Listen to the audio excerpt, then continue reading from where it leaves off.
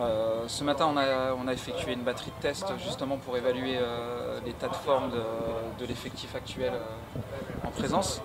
à partir de ces tests, on a, déjà, commencé à individualiser le travail comme on a, fait sur cette séance de cet après-midi, en fonction du résultat de ces tests, en fonction du temps de jeu également qu'ils ont eu à, faire dans leur club. Donc on, individualise cette phase de préparation ici Thiès, elle est vraiment dans, le but d'individualiser sur le plan physique, euh, avec euh, toutes les contraintes individuelles, euh, forcément le temps de jeu, le calendrier qui est différent dans chaque club. Donc là, on est dans une, dans une phase où on individualise beaucoup sur le travail physique et forcément sur le travail spécifique football de, commencer à travailler sur notre plan de jeu le jeu de l'équilibre, le déséquilibre. Et on a vu aussi un autre schéma présenté aujourd'hui, c'est la rapidité et tout droit euh, vers les buts pour marquer plusieurs buts. On a vu qu'il y a des joueurs qui ont marqué plusieurs buts aujourd'hui. Alors moi là je suis là plus pour répondre sur, euh, sur l'aspect euh, préparation physique et l'état physique de nos joueurs.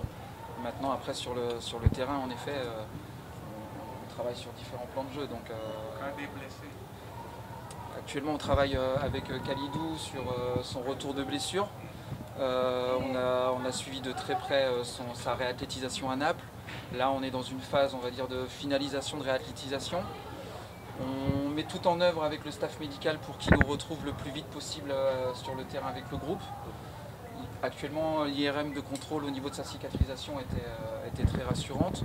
Tous les feux sont verts. Maintenant, on, continue à, travailler très sereinement et très sérieusement pour qu'il retrouve le groupe au plus vite. Mais euh, on n'est pas, pas du tout inquiet à son sujet. Et justement, avec euh, Khalid Koulibaly, quand est-ce qu'il va retrouver l'entraînement collectif?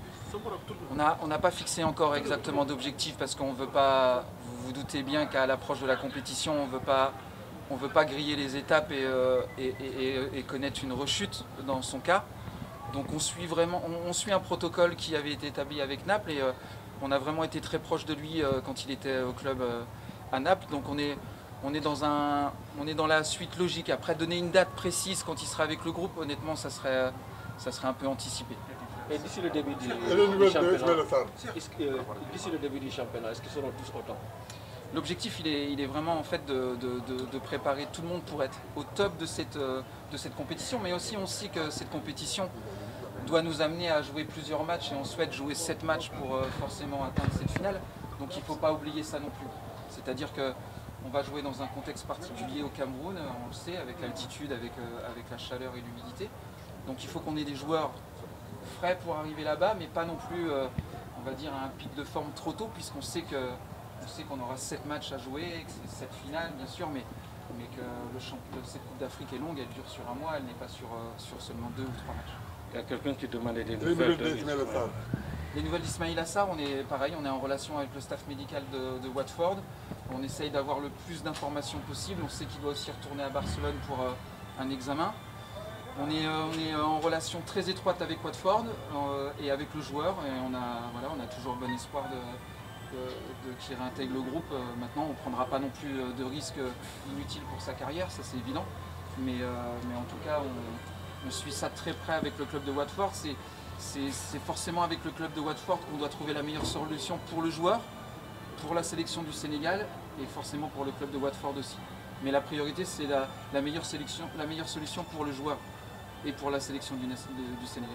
L'état physique général de ces joueurs qui sont présents Là, est, rassurant Oui, on est dans une canne qui se déroule en janvier, c'est pas une canne qui se déroule en juin, euh, juillet, donc l'avantage c'est qu'ils sont tous en club. Donc euh, ils ne sont pas dans un état de fatigue comme euh, on aurait pu connaître euh, en juin quand on était en 2019 en Égypte, parce qu'ils venaient de finir d'une saison très longue, plus les matchs, de Ligue des les matchs de Ligue des Champions. La contrainte, on la connaît tous maintenant en janvier, c'est ce problème de calendrier, de, de, ne pas pouvoir récupérer tous nos joueurs à la date du 27 comme il était prévu. On est tous, toutes, les, toutes les sélections, toutes les nations sont, sont forcément euh, embêtés par rapport à ça. Alors un peu plus le Sénégal parce qu'on a la chance d'avoir de bons joueurs qui jouent dans des bons championnats et qui sont encore en compétition. Donc on est un petit peu plus euh, impacté que les autres nations. Maintenant c'est comme ça. La chance c'est qu'ils sont en pleine compétition, donc ils sont en forme. Il y a juste, comme je vous l'ai dit en, tout début d'intervention, à rééquilibrer par rapport à, leur état de forme, à leur temps de jeu. Mais on a des joueurs qui sont en, pleine condition de, leurs moyens. L'absence Ghana va, nous rejoindre très vite. Euh, Ghana euh, en fait, a, réglé ce problème avec le PSG puisque le PSG pouvait demander à Ghana et à Abdou de, revenir. Donc Ghana a, très bien travaillé avec le club et le club du PSG, euh, en toute intelligence, a laissé les deux joueurs à notre disposition.